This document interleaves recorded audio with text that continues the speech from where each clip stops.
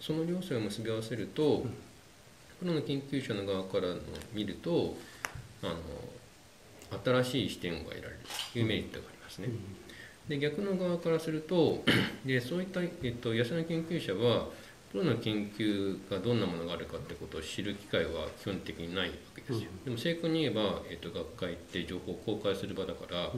えっと、そこで発表された論文を全部自分で見れば、えっと、最新のトレンドに追いつけますね。だけどもそう簡単に論文にアクセスできることでもないし読むのも大変だし自分のやってる分野とこの論文が近いってことを知るのも大変だし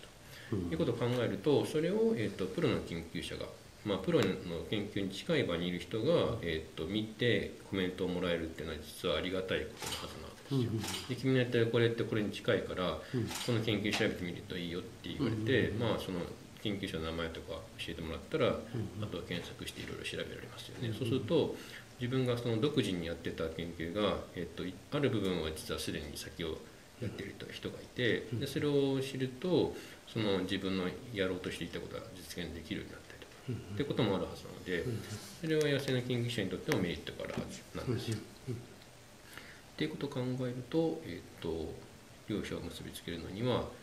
あのっていうのは意味があることなんじゃないかなと思います。